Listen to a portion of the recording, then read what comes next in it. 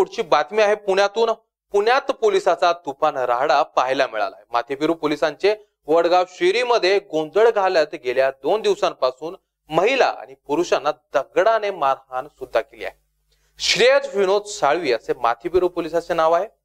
वडगाव शहरीत निरामय हॉस्पिटल जवळील रहिवाशांना श्रेयस विनोद साळवी हा माथेफिरू पोलीस मारहाण करतोय. याच्या या कृत्यामुळे दोन दिवसांपासून नागरिक मात्र भयभीत झालेत.